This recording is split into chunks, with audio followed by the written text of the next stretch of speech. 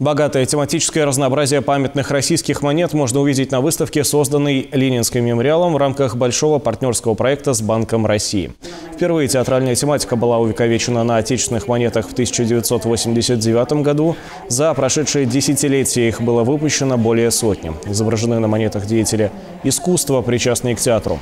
Условные изображения, представленные на выставке, можно разделить на три блока – драма, опера и балет – Запечатлеть последний вид искусства на маленькой монете особо сложно. Там нет нечеткостей, там все, изгиб руки, поворот головы, а, постановка э, ноги. Ну, если мы говорим про балет, там все очень четко прописано. И это делают художники. А потом это уже штампуется, так скажем. Театр на выставке показан не только в лицах, но и как объект архитектуры. На памятных монетах запечатлены здания Большого театра в столице или, к примеру, Новосибирского театра оперы и балета.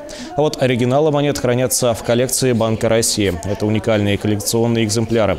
Познакомиться с магией театра, увековеченной в монетах, можно в выставочном зале Дома-музея Владимира Ленина по адресу улица Ленина, дом 70.